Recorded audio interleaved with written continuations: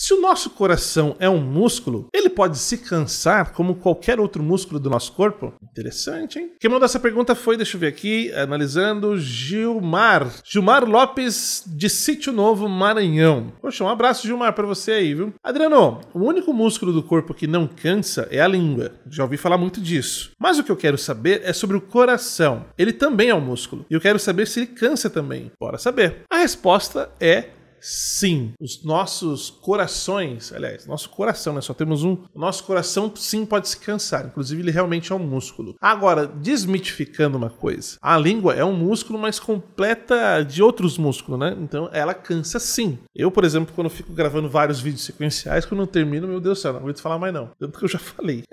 Enfim, mas o coração se cansa. E por incrível que pareça, os nossos corações vão se cansar por três fatores principais. Primeira, situações que a gente faz uma alimentação alimentação, comendo muita besteira, muita coisa gordurosa, com colesterol alto, vai fazer com que o nosso coração trabalhe mais forçado. Então, esse é um ponto negativo. Falta de exercício. Se a pessoa não se exercita, o coração não tem o costume de se exercitar, então ele vai ficando cansado. E o terceiro é o estresse. Se você é uma pessoa que sofre de estresse constante, isso vai afetar o seu coração. Sinais de que seu coração está cansado. Você vai ficar muito fadigado, ou seja, muito cansado. Você não vai ter muitas condições de fazer exercício porque seu corpo não te dá essas condições. Você fica meio desanimado para fazer. Você vai ficar com muita falta de ar, propenso a ter desmaios. Então, tudo isso são causas de que seu coração não está legal, que está meio cansadão. O ideal para você trabalhar então o seu coração é se alimentar bem, fazer exercícios físicos e se ficar livre de estresse. São as coisas principais que você vai ajudar o seu coração a ficar sempre bom, sempre em ótimas condições.